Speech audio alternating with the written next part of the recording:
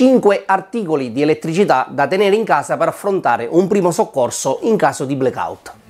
Sebi Torrisi Creative Solutions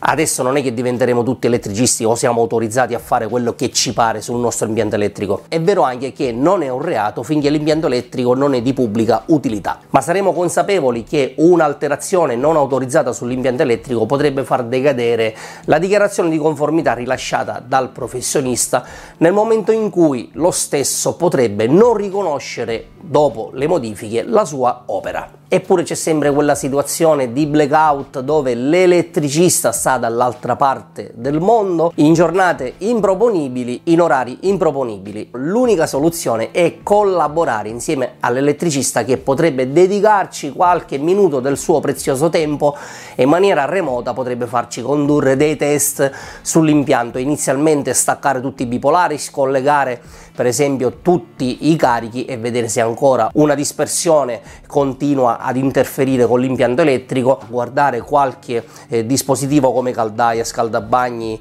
eh, o mh, mm, altri carichi e scollegare per esempio dei morsetti. Ecco che a discrezione di tutti potrebbe essere importante partecipare a questi primi test in modo da diciamo ripristinare, riarmare quello che, rest che resterebbe dell'impianto ed eventualmente far capire anche all'elettricista cosa abbiamo di fronte nel momento in cui poi lo stesso dovrà intervenire di presenza. Esempio, lo scaldabagno che si buca, che fa andare in dispersione l'impianto elettrico, scaldabagno che non è connesso a un bipolare, dove l'impianto elettrico è unico, quindi si rimane al buio. Tramite la guida dell'elettricista, l'utente finale domestico potrà allentare il carter, potrà individuare i morsetti, allentarli, staccarli, isolarli e riarmare l'impianto. Se il problema è questo,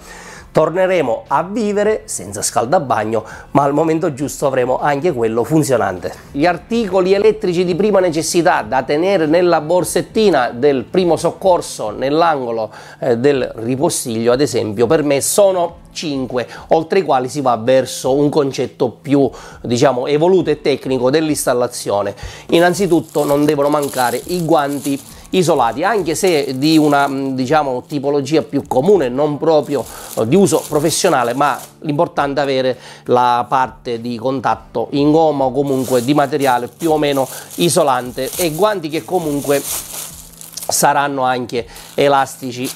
e ben aderenti a tutta la mano in modo che non ci siano parti penzolanti o non ci si può incastrare con spigoli durante per esempio un intervento appunto di prima necessità. Quindi per me questo è un articolo che non deve mancare nella lista il cercafase e qui nella versione più evoluta che ehm, rappresentano un uso combinato anche di un cacciaviti che ci permette di eh, rilevare la presenza di potenziale su un morsetto o su una parte metallica che si raggiunge con la punta e toccando l'altra estremità. L'utilizzo è eh, immediato e intuitivo, non c'è bisogno di spiegazione eh, verso chi è portato a utilizzarlo perché in questo modo l'elettricista dall'altra parte potrà sapere se un relè per esempio ha eh, tensione è alimentato oppure un contatto è rimasto incollato o si apre o si chiude o c'è un problema per esempio sul portalampada eh, del corpo illuminante eh, pilotato da un relè oppure su una scheda di potenza eh, di un elettrodomestico e quindi col cercafase eh, sotto la guida di un elettricista si può già avanzare diciamo la prima diagnosi del problema. L'uso dicevo combinato a un cacciavite anche se e improprio dal punto di vista tecnico ci permette per esempio di mollare qualche morsetto di un relè, di una schedina e non mollare morsetti più grandi. Infatti nella lista non ho messo un set di cacciaviti proprio per limitare l'azione dello stesso e quel po' che possiamo fare eh, col cacciaviti lo faremo col cercafase proprio perché i morsetti più grossi quelli di potenza dove c'è più rischio dovranno essere eh, diciamo eh, ispezionati dall'elettricista. Tuttavia non sempre è facile capire eh, se c'è un problema legato alla tensione con un cercafase. A maggior ragione per esempio se questa va rilevata sotto forma di differenza di potenziale tra due morsetti ipotetico di fase e ipotetico di neutro almeno per i comuni mortali o oppure sul secondario di un alimentatore, quindi un'energia ridotta rispetto a quella eh, di rete, per esempio la 12 volt, soprattutto in continua, non è possibile attraverso un cercafase capire appunto se c'è energia. Ed ecco che esiste uno strumento che può essere tenuto in casa nella versione più economica possibile che ci risolve più di un problema, anche quello legato all'energia. Ecco il multimetro uno strumento che già nella sua versione più economica, qui siamo nell'ordine delle 20-25 euro credo, ci permette di misurare delle grandezze elettriche. Qui diciamo nella versione proprio minimal eh, possiamo misurare tensioni alternate e continue con una scala e poi anche resistenze, quindi continuità e poi eh, delle correnti eh, fino a una certa portata comunque. Quindi per esempio possiamo fare una prima diagnosi su un alimentatore per esempio di una centrale di allarme allarme, dove non ci è bastato col cercafase capire se effettivamente questo è correttamente alimentato. Quindi, per esempio, eh, leggendo oh, tensioni alternate sulla scala adeguata, possiamo capire se effettivamente l'alimentazione arriva correttamente dalla rete elettrica oppure controllare se eh, in uscita abbiamo eh, i 12 volt dichiarati o più oh, sull'alimentatore in continua. Se ancora il problema non si è risolto, controllare la continuità del fusibile possibile impostando semplicemente il multimetro appunto in continuità e toccando con i puntali gli estremi del fusibile. In questo caso se dopo aver verificato la tensione in ingresso e l'integrità del fusibile non c'è tensione in uscita vuol dire che l'alimentatore sarà da sostituire e quindi con questa prima diagnosi l'installatore verrà a casa vostra prima possibile con un alimentatore nuovo in borsa. Un caso classico di utilizzo del multimetro, forse il più domestico che esista, è testare la batteria, per esempio, degli orologi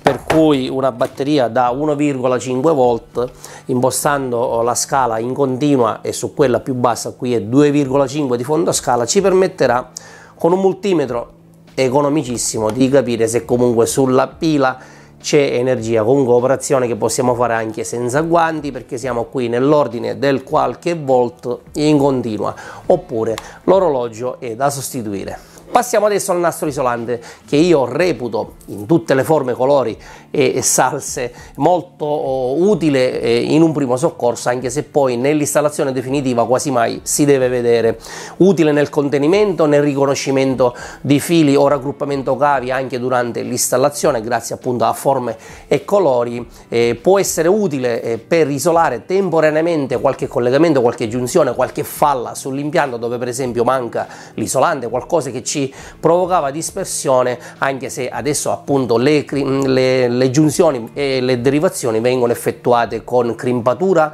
con ehm, morsetti, mammut o 4 box. Però in casa suggerisco sempre di tenerlo appunto per eh, soluzioni di tamponatura temporanea. E infine gli accessori da taglio. Li metto in un'unica categoria perché possiamo dal punto di vista domestico anche se ho dedicato credo un video al taglio e alla spellatura, eh, affrontare situazioni appunto eh, elementari di prima necessità, sempre sotto la guida dell'installatore. E potrebbe essere per esempio